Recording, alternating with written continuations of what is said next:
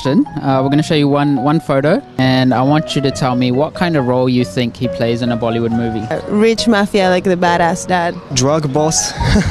The bad dad. The evil father. He looks like a gangster. Like the mafia. He's like the boss. That's a big boss. Such like chairman.